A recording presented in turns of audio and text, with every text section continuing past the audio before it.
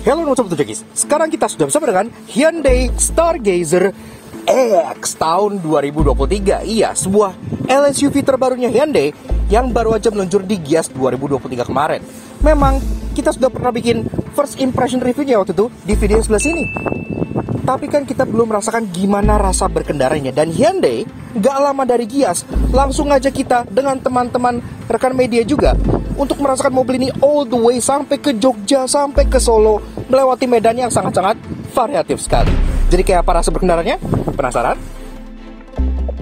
Yes, apakah mobil ini beda rasanya dengan Stargazer biasa yang kita udah sering banget cobain? Dan apakah dia layak untuk diberikan imbuhan X di namanya? So, tanpa apa lagi, yuk kita coba rasa berkendaranya. Start your engine.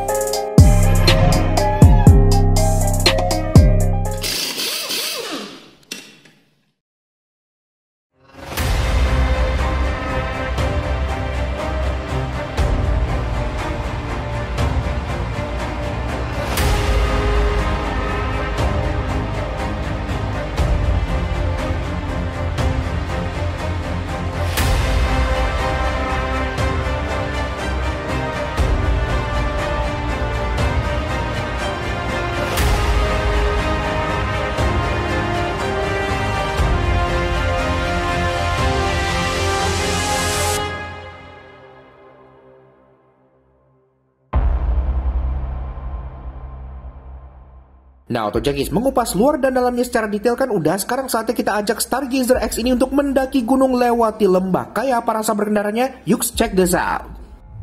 Nah, untuk Jagis, Hyundai Stargazer X tahun 2023.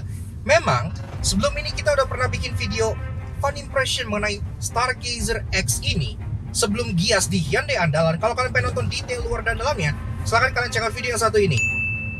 Nah, tapi waktu itu kan baru static review aja. Kita belum pernah merasakan rasa berkendaranya dan jujur kita penasaran banget apakah dia seberbeda itu dengan Stargazer yang versi LMPV-nya gitu ya. Dan gak lama dari itu, langsung aja kita tiba-tiba diajak oleh Hyundai untuk merasakan media drive experience the all new Stargazer X ini all the way sampai ke Jogja, Solo, dan balik ke Jogja lagi. Yang buat kita bisa merasakan potensi full dari mobil ini tuh rasanya seperti apa gitu ya. Dan jujur aja ternyata memang ada bedanya rasa berkendara dibandingkan Stargazer versi LMPV-nya. Tapi sepeda apa gitu? Karena kan secara spek and tech sebenarnya speknya tuh ya mirip-mirip aja gitu kan. Nah, sekarang kita bahas driving impression-nya mulai dari tiga hal positifnya seperti biasa. Tapi sebelum itu, kita pengen kasih spek and tech-nya dulu untuk soal contohnya mesin, nah mesin dari mobil ini itu sama persis ketiplek sama Stargazer yang versi LMPV. Jadi dia masih pakai 1500 cc Smart Stream yang di-share dengan Stargazer MPV dan juga Hyundai Creta gitu ya. Tenaganya 115 PS yang sebenarnya di kelas LMPV itu dia jadi yang paling gede tenaganya. Impresif banget. Kerasa banget pas kalian lagi bawa mobil ini. Tapi ini kan kelasnya naik ini kelasnya jadi L SUV yang artinya dia ketemu sama Honda BRV dan memang Honda BRV tetap memiliki figur tenaga yang lebih gede di 121 PS gitu ya. Tapi secara driving impression overall ini tenaganya udah cukup impresif kok. Kemudian dari segi kaki-kaki dia memang tidak ada perubahan secara mekanikal. Jadi kurang lebih masih sama aja dengan kaki-kaki yang versi MPV-nya. Seperti itu. Oke, lanjut ke tiga hal positif dari driving impressionnya. Yang pertama-tama adalah soal handling dan stability-nya. Kayak yang gue bilang sebelumnya, mobil ini kan punya setup kaki-kaki sebenarnya sama aja sama Hyundai Stargazer yang MPV. Kecuali satu hal, yaitu setup ban dan peleknya. Untuk Stargazer X, dia pakai pelek ring 17 inci, jadi satu inci lebih besar dengan spek ban 205 50 R17 yang artinya dia low profile tire, lebih tipis. Jadi pas kita bawa, memang kerasa nih mobilnya. Itu dia less body roll, lebih sigap, dan secara handling pun jadi meningkat. Apalagi kan pas kita di hari pertama dan kedua, ini gue syutingnya di hari ketiga supaya gue bisa merasakan full dulu mobilnya kayak apa, baru gue bikin reviewnya. Di hari pertama kedua, itu trayeknya cukup membagongkan. Kenapa? Karena kita diajak ke tempat-tempat yang lumayan ekstrim. Kita naik ke atas gunung, kemudian ada rute yang turun gunung, back roads, winding roads, segala macam kita rasain. Dan di twisty back roads, itu kerasa banget kalau handling mobil ini, itu memang enak. Pas kita bawa nikung-nikung, itu kita lumayan pede gitu ya, karena dia lebih ngegigit dan lebih less body roll. Jadi secara body roll pun dia lebih stabil dibandingkan versi yang MPV-nya berkat penggunaan pelek lebih besar dan ban yang lebih tipis tersebut. Ditambah lagi, kan untuk versi Stargazer yang setelah improvement gitu ya, yang prime improvement kemudian yang X terbaru ini, dia kan untuk rem dia juga sudah di-upgrade. Kalau yang tadinya kan uh, depannya disc brakes, belakangnya tromol. Sekarang Stargazer depannya disc brakes, belakangnya juga disc brakes karena kan dia sudah pakai electronic parking brake ya. Jadi udah ada auto hold juga kalau lagi macet lampu merah kayak gini. Enak tuh, tinggal kalian rem tahan, udah auto hold nyala, udah kalian nggak perlu nahan rem jadi nggak capek. Upgrade dari brakes yang sekarang jadi disc di belakang ini juga terasa pada saat kalian mengerem. Karena lagi bawa mobil ini nikung-nikung, kalian rem remnya terasa menggigit dan dapat gitu ya. Jadi lebih gak ngeloyor. Kalian tuh lebih pede dalam melahap-lahap tikungan, dalam hard braking dan lain-lain dibandingkan versi yang rem tromolnya dulu. Jadi secara handling itu udah meningkat dan terasa. Kemudian stability-nya. Memang Stargazer uh, kalau dibawa di kecepatan tinggi, kita harus akui dia salah satu yang paling stabil di kelasnya. Kenapa? Karena berkat aerodinamika. Mungkin kalau mobil dibawa pelan cuma 60, 70, 80 di bawah 100 gitu ya. Aerodinamika nggak terlalu bermain banyak. Tapi kalau kalian begitu masuk tol yang di mana kalian lari 100, 120, 140 itu aerodinamika sangat berpengaruh sekali karena ya mau bagaimanapun angin kan makin kenceng gitu ya pas kalian lagi dalam kecepatan tinggi. Nah, bentuk Stargazer yang one curve design ini membuat dia lebih aerodinamis dibanding rata-rata rivalnya yang bentuknya tuh blocky gitu ya. Expander Cross kan kayak Optimus Prime kayak robot gitu ya, kotak banget. Kemudian Honda BRV juga kotak banget. Jadi rata-rata di kelas ini memang desainnya mengotak. Nah ini sendiri yang desainnya membulat dengan satu tarikan garis.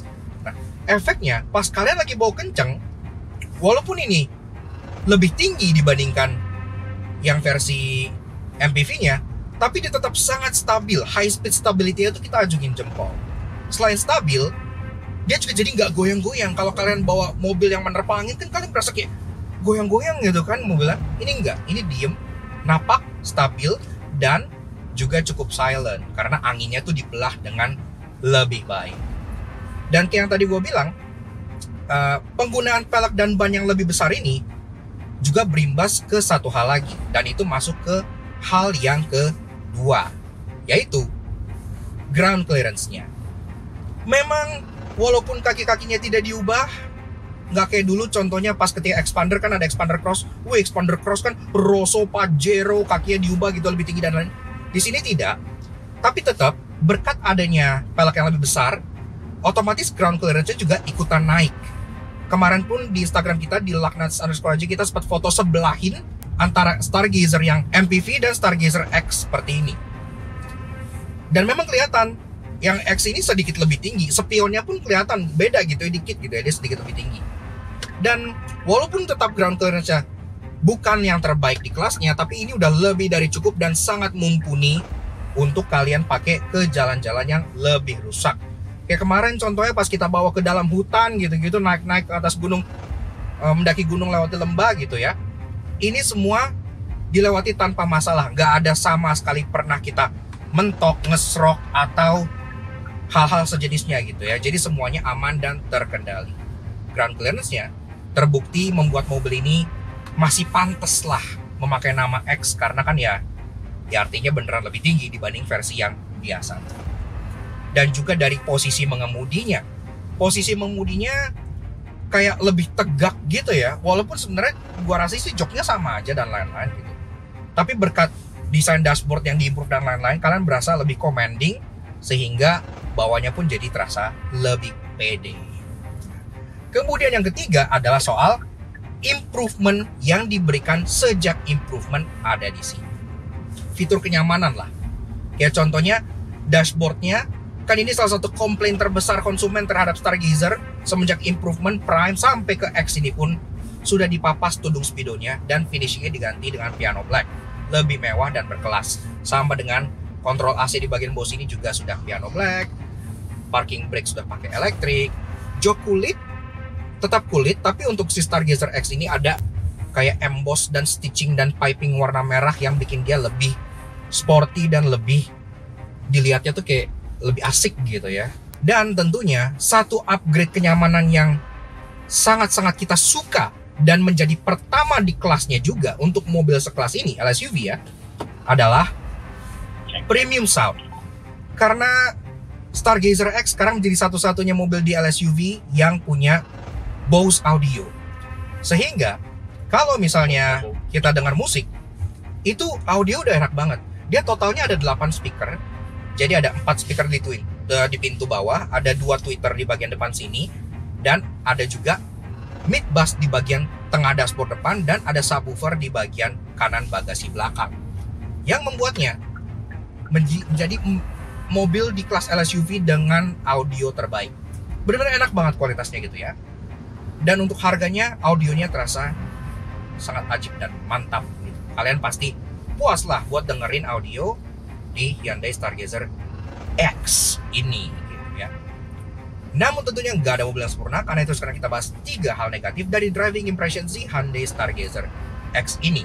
Yang pertama-tama adalah soal bantingannya. Memang seperti yang gue bilang, berkat penggunaan pelek yang lebih besar dan ban yang lebih tipis, bantingan secara handlingnya dia jadi lebih tajam gitu ya. Lebih enak buat dibawa agresif, tapi secara kenyamanan, secara keempukan terutama, memang dia terasa lebih stiff dibandingkan Stargazer yang MPV. Dan Stargazer MPV aja kan udah banyak orang yang bilang kalau itu cukup stiff di kelasnya gitu ya dibanding Expander gitu-gitu. Memang Stargazer tergolong stiff, tapi menurut gue pribadi sih stiffnya enak ya. Bukan stiff yang keras gimana, stiff ala-ala mobil Eropa rasanya gitu. Ini lebih stiff lagi. Jadi kalau orang misalnya nganggap Stargazer yang MPV aja udah stiff, ya cobain ini pasti bakal kayak, wih keras ya gitu. Karena memang bantingannya lebih stiff dan lebih keras dibandingkan Stargazer yang MPV. Walaupun menurut gue pribadi masih sangat enak dan sama sekali tidak nyampe bikin kalian kayak mual atau terombang ambing atau gimana gitu ya. Cuman ya lebih kaku aja. Terutama itu terasa kalau kalian naik di baris kedua itu jadi ya lebih kaku aja mobil gitu, lebih rigid, lebih stiff. Gitu. Ada yang bilang itu enak, ada yang bilang itu mungkin jadi keras sesuai preferensi masing-masing. Kemudian yang kedua adalah minimnya perubahan mekanikal. Iya, seperti yang gue bilang di awal, kebanyakan ubahan dari si Stargazer X ini itu bersifat kosmetik dan fitur kenyamanan. Kosmetik, cladding hitam, roof rail atas juga kagak bisa dipakai yang cuman uh, aksesoris doang gitu kan. Kemudian kaki-kakinya juga yang di-upgrade cuman pelaknya doang. Interiornya juga lebih ke arah ya penambahan fitur audio ya enak sih ya nggak masalah. Tapi kalau yang di yang lain-lain kan ibaratnya kita ambil contoh expander ke expander cross itu kan upgrade-nya kayak lumayan jauh gitu ya setirnya beda speedometernya beda head unitnya beda warna dashboardnya beda gitu kan kalau di sini enggak yang terlalu jauh bedanya dengan uh, Stargazer yang versi LMPV tapi menurut gue itu bukan salah Stargazer X. Itu menurut gua karena Stargazer Prime yang MPV itu udah terlalu overspec gitu ya. Karena Stargazer Prime kan head unit udah integrated udah ada Android Auto Apple CarPlay speedometer udah digital jok juga udah kulit ada captain seat di belakang. Sebenarnya Hyundai itu bisa. Kalau mereka pengen nyisihin spek yang lebih untuk mobil ini contohnya misalnya captain seat khusus buat Stargazer X aja itu bisa gitu kan atau misalnya uh, electric parking brake khusus buat Stargazer X aja gitu. Tapi mereka enggak. Di Prime Improvement bahkan dikasih electric parking brake juga gitu. Jadi karena Prime Improvementnya udah imba, otomatis mobil ini jadi terkesan ya betty gitu, beda tipis, nggak yang terlalu signifikan upgrade-nya. Tapi kalau kalian suka stylingnya dan daya jelajahnya dan stability-nya, ya pastinya ini akan jauh lebih appealing buat kalian. Apalagi kan sekarang kan trennya semua dibikin crossover crossover crossover gitu kan. Makanya Stargazer X ini menurut gua ya oke okay buat pasar Indonesia yang di mana jalannya jelek dan rata-rata orang suka SUV kemudian yang ketiga dan yang terakhir adalah soal Hyundai Smart Sense-nya masih tetap belum lengkap ya sebenarnya bisa aja sih Hyundai ngasih unique selling point di mobil ini berupa adaptive cruise control tapi enggak iya karena kan uh, Hyundai Smart Sense dari Stargazer yang MPV kan dia udah lengkap juga ya udah ada kayak for collision mitigation, for collision warning, blind spot warning, uh, lane keeping assist, lane departure alert, lane departure prevention, lane centering semua dia udah ada gitu. Di mobil ini sama.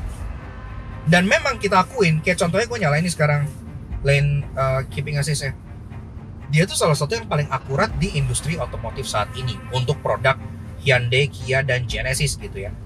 Dia tuh enak, halus banget dan baca marka jalannya tuh tepat banget. Jadi pas kalian jalan jauh, fitur itu beneran kepake, nggak cuman gimmick doang. Rata-rata yang lain kan dia ada lane, lane keeping assist tapi nggak lane centering, mobilnya lari-lari lah apa segala macam atau nggak akurat bacanya mati-mati mulu.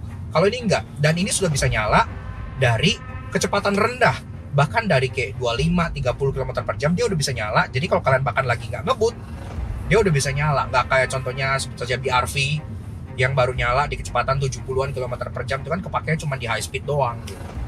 Tapi sayangnya dia tetap nggak ada adaptive cruise. Sedangkan BRV udah ada adaptive cruise. Dan lagi-lagi sebenarnya gue nggak nyalain Hyundai juga ya, karena kalau ini ditambahin adaptive cruise control, pastinya agak aneh karena dia akan melangkahi kereta gitu kan. Jadi mereka juga serba salah gitu. Tapi ya alangkah lebih spesialnya kalau seandainya mobil ini yang di Smart Sense udah dilengkapi dengan adaptive cruise control. Tapi at least blueling tetap ada.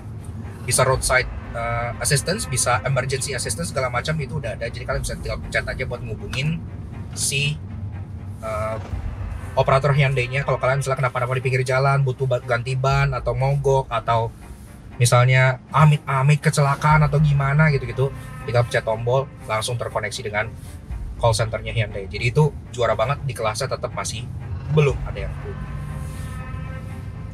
namun secara overall menurut gue si Hyundai Stargazer X ini sudah memberikan warna yang lebih di kelas LSUV karena selama ini kelas LSUV ya isinya itu-itu lagi gitu kan expander cross lagi BRV lagi gitu kan. Padahal mobil ini sebenarnya punya banyak kelebihan dibanding mobil-mobil kompetitornya. Sebut saja contohnya soal space. Space paling juara karena memang secara body Stargazer sebagai basicnya sudah paling lega. Captain seat di belakang juga cuman dia doang yang punya. Jadi enak, lega gitu ya. Duduknya pun mendelep, gue suka, enak. Kemudian dari segi bantingannya yang stiff tapi engaging to drive ya gini nih kalian tikung gini ya. Itu enak banget. Kompetitornya kan kalau dibikin tinggi rata-rata ya jadi limbung kalau ini sama sekali tidak. Oh iya satu hal lagi yang belum gue bahas yaitu konsumsi BBM berhubung gue syuting ini di hari ketiga jadi gue udah bisa ngasih gambaran lah bagaimana mengenai konsumsi BBM dari si Hyundai Stargazer X ini. Yang sebenarnya sama aja sih sama Stargazer yang biasa. Cuman mungkin ngaruh dikit karena ya eh, pelaknya lebih besar otomatis mobilnya lebih berat dan gitu-gitu ya. Faktor yang cukup minor sih. Tapi untuk perjalanan ini kalau kita tinjau dari MID-nya di bagian sebelah sini ini trayeknya sangat uh, random ya. Maksudnya kayak pertama dari bandara kita lewat jalan-jalan biasa kemudian kita ada lewat sempet jalan bebas hambatan sedikit high speed gitu ya kemudian kita ada naik gunung, ada turun gunung. Jadi benar-benar udah rute kombinasi sekombinasi kombinasi memungkinnya. Dan di sini gue mendapat average uh, fuel consumption itu satu banding 11. Satu banding 11 masih oke okay sih menurut gue. Maksud gue kayak nggak yang irit banget, nggak yang boros banget. Dan inget kita di semasa media drive ini kita tuh nggak yang lomba irit nggak ada yang diirit-iritin. Kalau waktu itu kan ada sempat lomba irit kan di yang Stargazer biasa. Di Stargazer X ini tidak ada lomba irit. Jadi benar-benar kita gaspol total naik gunung naik gunung gaspol turun gunung gaspol. Lead car-nya juga yang bawa kenceng banget ya karena kita ngejar waktu karena waktunya cukup terbatas dengan kegiatan pun banyak jadi benar-benar kita pol-polan bawa mobilnya sepol itu. Dan ini sudah sepol itu masih bisa mencatat satu banding 11 ingat pol ya gas pol bukan yang ditahan-tahan. Yang menurut gua masih cukup impresif lah nggak masalah gitu. Jadi ya konsumsi BBM-nya masih sangat layak diterima seperti itu. Dan overall experience gua ikutin media experience kali ini terasa sangat-sangat berkesan. Karena tempat-tempat yang dikunjungin pun sangat berkesan. Kita ke pantai kita ke atas gunung. Dan yang lebih berkesan lagi adalah rutenya. Ya karena kita lewatin hutan winding B road segala macam. Kita benar-benar bisa mengeksplor rasa berkendara mobil ini sepol-polnya gitu. nggak yang di dalam kota doang nggak yang tol doang tapi benar-benar ya into the unknown. Sesuai dengan mobil ini unleash the X in you. Kita mencari X marks the spot. Kita benar-benar mencari tempat-tempat yang bisa dibilang hidden gem dengan mobil ini. Masuk-masuk ke pelosok dan itu asik banget. Bersama rekan-rekan media yang asik juga. Jadi sangat-sangat luar biasa. Dan nantinya kita mungkin akan pinjam juga unit test dari mobil ini untuk dites dengan lebih akurat lagi tapi untuk sekarang kalau misalnya kalian gua ngitin lagi kalau misalnya kalian pengen nonton review yang lebih lengkap nih yang detail banget kalian bisa check out video kita yang ada di bagian sebelah sini. Tapi berhubung kemarin audionya kan agak sedikit rusak ya karena ternyata mikrofonnya tuh nggak connect itu gue kesel banget sebenarnya. Abis ini gue tetap bakal bahas perbedaan dari si Hyundai Stargazer X ini dibanding Stargazer yang biasa secara first person karena gue sendirian di sini kalau kalian pengen lihat annoying, interesting dan lain-lain silahkan kalian check out video yang kemarin kita udah shoot. So terima kasih banyak Hyundai Indonesia udah ngajak gue untuk merasakan Stargazer X all the way sampai Jogja sampai Solo balik ke Jogja lagi. Truly experience yang luar biasa. Dan Stargazer X pun ini menjadi LSUV pertama di Indonesia dan sekaligus mobil terpaling terjangkau di Indonesia dengan opsi cat matte alias DOF dan gue nggak berhenti berhentinya ngomong kalau catnya tuh keren gitu loh kayak Gravity Gold Matte sama Optic White Matte itu suatu yang fresh banget karena selama ini manufaktur lain belum pernah menawarkan cat doff di mobil mereka. Bahkan di mobil-mobil mewahnya aja tuh nggak ada. Tapi Hyundai dari Ioniq 5 sekarang Stargazer X langsung ditawarkan dengan opsi cat doff. Itu berani.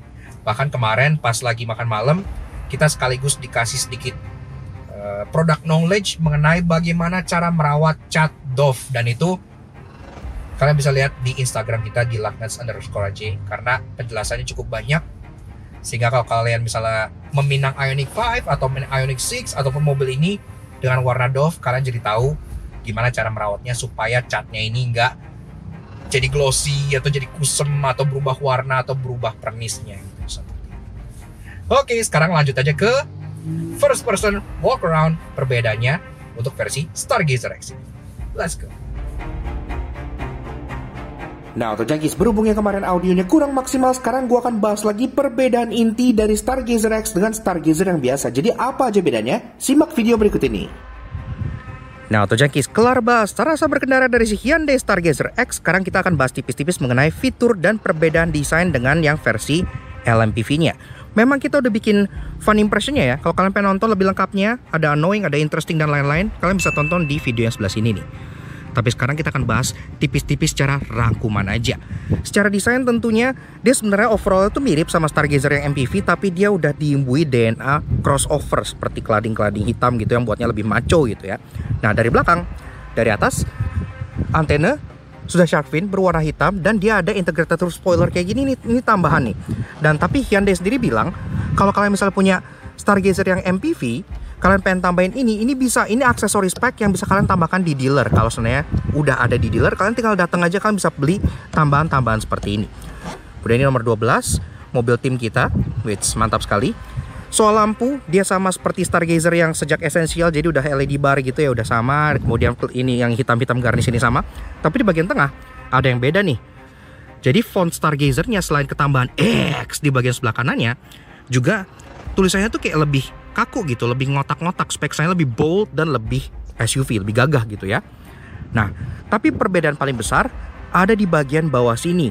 Nah, di bumpernya dia ada cladding hitam yang besar yang menegaskan kesan crossover dengan aksen underguard warna silver yang juga lebih besar dibandingkan Hyundai Stargazer yang LMPV. Bawah sini pun ada aksen-aksen kayak honeycomb gitu yang kotak-kotak yang kesannya bold banget dan mata kucingnya juga lebih lebar gitu ya panjang di sini ya. Soal safety, dia udah ada tiga titik parking sensor yang integrated dan juga udah ada kamera mundur di bagian sebelah sininya. Jadi udah oke okay lah. Bagian samping, nah ini kelihatan nih fendernya ada taman over fender yang ada desain ini kayak WRX gitu ya. Jadi kayak ada desain apa nih namanya kayak airflow vent vent gini desainnya jadi cukup lucu. Sampai ke bagian rocker panel bawah di sini pun ada aksen hitam-hitam cladding hitam seperti ini. Nah di atas dia juga ketambahan roof rail berwarna silver walaupun roof rail ini hanya untuk aksesoris ya jadi do not apply load. Ini beneran ini nggak bisa dipakai jadi roof rail jadi cuman untuk styling aja. Nah door handle dia masih sama dia warnanya chrome model grip type dan ada akses keyless entry bagian sininya. Oke okay lah ya. Nah ke bagian depan dikit kita bahas soal kaki-kakinya. Nah ini menjadi pembeda terbesar nih antara yang versi LMPV dengan versi LSUV ini. Sekarang dia palknya lebih besar satu inci jadi ring 17 inci desainnya pun palang 5 kayak bintang gini ya tapi masih two polish dan desainnya pun masih senada dengan parametrik desainnya Hyundai.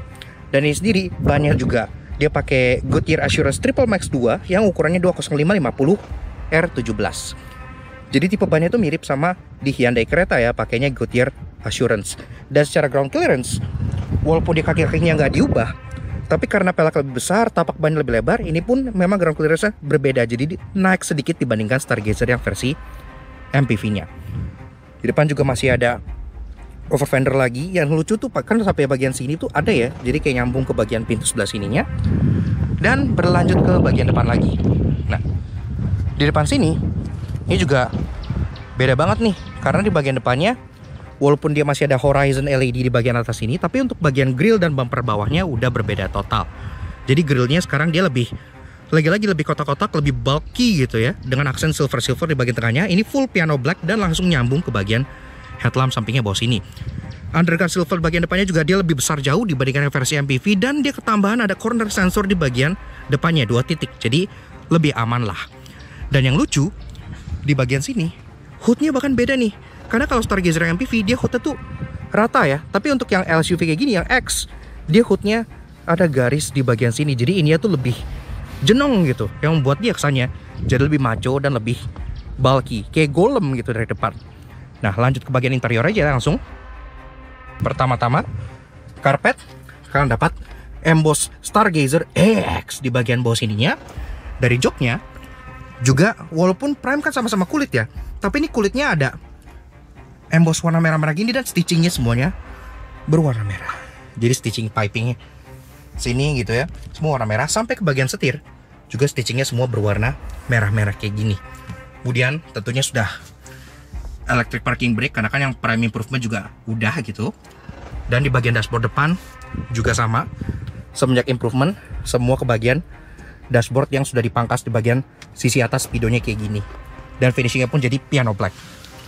Hmm start dulu. Udah engine start tentunya Speedometer masih serupa.